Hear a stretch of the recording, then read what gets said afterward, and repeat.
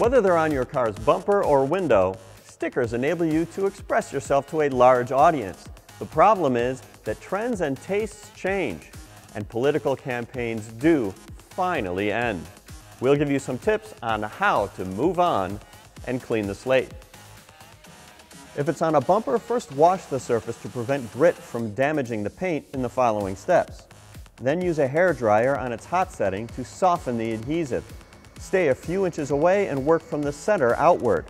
Next, use a plastic card like a frequent shopper card or a hotel key card at an angle to gently scrape the sticker loose using a sawing action if necessary.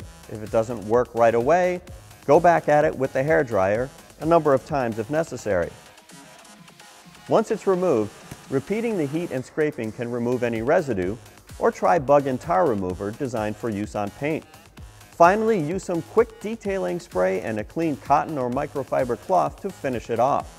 For window stickers, get a razor blade scraper. It seems extreme, but glass is hard enough to resist scratching, unless the window in question has been darkened using aftermarket tint film.